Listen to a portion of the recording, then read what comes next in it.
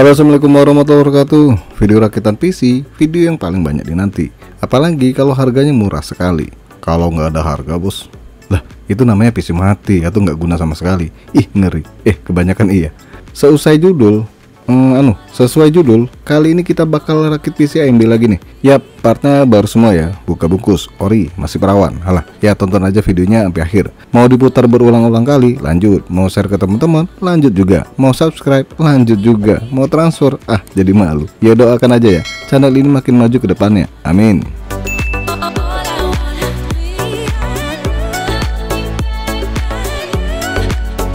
Seperti biasanya semua part yang bakal dirakit saya kasih secara gratis nih linknya di deskripsi.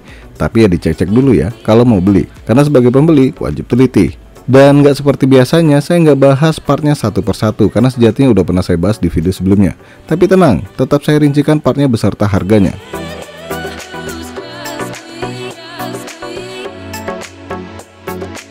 Ryzen 5 4600G boxset 3,7 GHz up to 4,2 GHz 6 core 12 thread harga 1,5 juta rupiah. ASRock A520M HPS MATX dengan harga baru kurang lebih 900 ribu rupiah. Tim Delta RGB 16 GB dual channel 3200 MHz harga barunya 710 ribu rupiah. Paradox Gaming Ballista 512 GB NVMe 30 harga baru 430 ribu rupiah. Aerocool United Power 500 watt dengan harga 420 ribu rupiah Venom Ura Black nih dengan harga Rp400.000. Nah, sekarang siapin kalkulator karena kita bakal ujian. Eh, enggak dong. Menghitung total semuanya. Rp4.360.000. Sekarang kita bulatin nih jadi 4,4 juta rupiah. Nah, gimana? Masuk golongan kiri hore, tapi kece kan? Masih bilang mahal? Mahal, Bos. Mending itu 7 plus PGA, Bos. Jangan samain spek ini dengan spek jadul atau barang bekas. Ya nggak masuk lah bro. Kan konteksnya barang baru. Harga segini juga udah murah kebangetan loh. Masa ya spek gini barunya mau 2 jutaan? Coba ada mana? Eh mana ada dong. Oke lanjut perakitan PC Carry Hore dari AMD ini.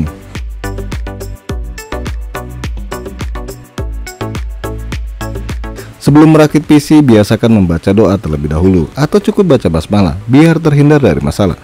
Emang bisa bos dapat masalah. Bisa aja bro, kalau ngasal contohnya nggak sengaja prosesornya jatuh, pin prosesor pada bengkok, kan ini malah bikin susah. Oke langsung aja deh kita buka empat baut yang ada di motherboard ini. Semuanya dibuka ya. Jangan lupa nih Sebelum kita memasang prosesor lihat segitiga di soket prosesor sama prosesornya. Terus tinggal disamain aja nih Biar langsung bisa kepasang prosesornya. Buka besi pengait pengunci prosesor setelah terbuka, biarkan terjengkang. Halah, posisi tegak lurus maksudnya. Pegang prosesornya seperti ini ya dan masukkan secara hati-hati. Kalau udah masuk, tinggal pasang kembali besi pengunci prosesor dan kaitkan kembali ke tempat semula. Gampang kan? Oke, lanjut. Ini eh, kita pasang coolernya ya. Ingat ya, posisi tulisan cooler di AMD ini harus ada di sebelah kiri. Kemudian jangan lupa empat baut pengunci itu dipasin ke lubang di motherboard. Kalau udah pas tinggal dikunci sampai nggak muter lagi. Sekarang kita pasang 4 pin power kipas cooler ke motherboard. Yakin deh nggak bakal kebalik. Tinggal tancepin. Lanjut siapin baut pengunci SSD yang udah disediain dari motherboard ya.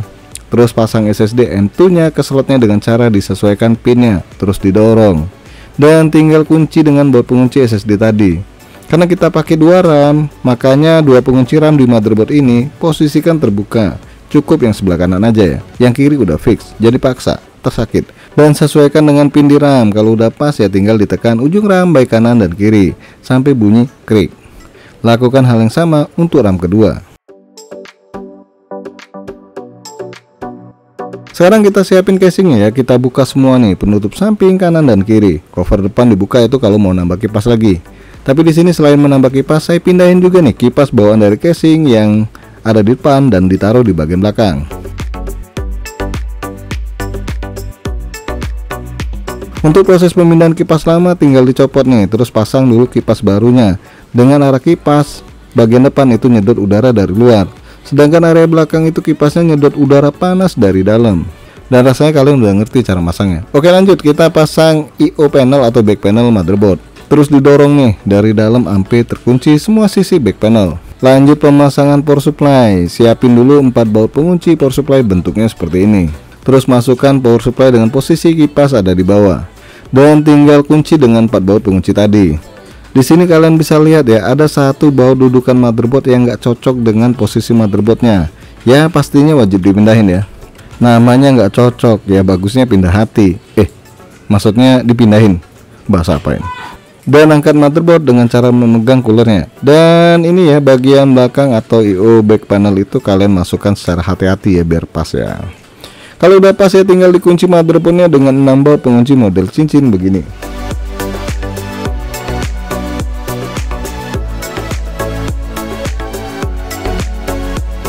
Lanjut pemasangan kabel power ke motherboard. Pertama, konektor power 24 pin. Dengan posisi pengunci ada di sebelah kanan.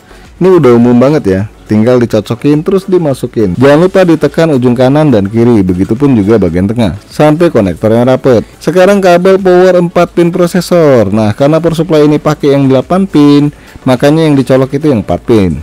Dan ini posisi penguncinya ada di atas. So 4 pin sebelah kanan ya yang masuk ke power prosesor sebelah kiri nggak mungkin bisa masuk juga ya karena beda colokannya. Lanjut konektor USB 3.0 alias 30 eh 30 maksudnya.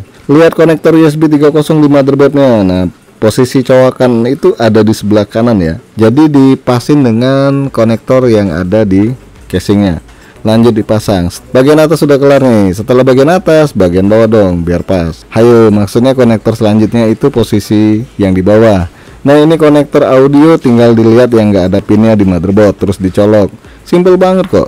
Terus konektor USB 2.0 ini juga samain dengan audio. Cocokin aja yang ada di motherboardnya terus dipasang. Dan terakhir sih bagian hidup dan mati komputer alias tombol on dan off bagian depan. Nah secara umum dan paling gampang tinggal dihafalin aja atau diingat nih. Kalau konektor 2 pin di bawah itu HDD LED terus di sebelahnya itu reset dengan tulisan yang ada di konektor itu di bagian bawah ya. Di atas reset itu pasti power. Dan di sebelah power atau di atas HDD LED itu power plus sama minus.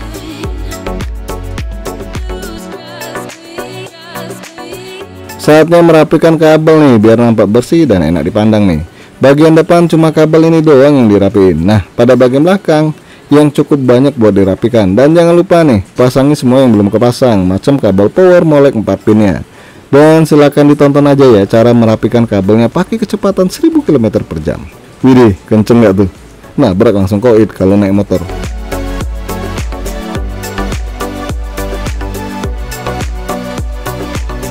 Dan beginilah hasil merapikan kabel area belakang. Gimana? Lumayan rapi kan ya? Ada asap bos. Oh itu efek efek efek nudut. Alah dan beginilah hasil bagian depan. Bos kebakaran bos. Aduh kok bisa sih? Asap ngikut di video. Padahal udah dibilang nih saya mau syuting. Ngikut aja syuting. Lanjut uji coba kemampuan gaming tentunya tapi tanpa narasi ya. Karena kemampuan gaming dari Seiko Ryzen 5 4600G ini Udah pernah saya bikin video sebelumnya tapi biar nggak penasaran, lagi-lagi pakai super speed nih. Dan sampai di sini aja dulu bahasan PC gaming murah harga 4 juta rupiah.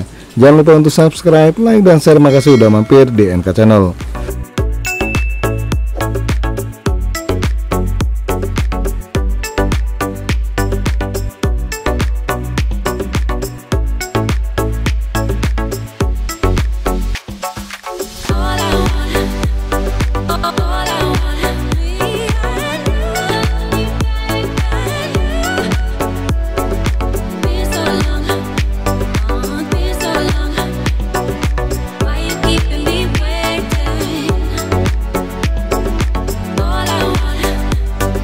oh. oh, oh.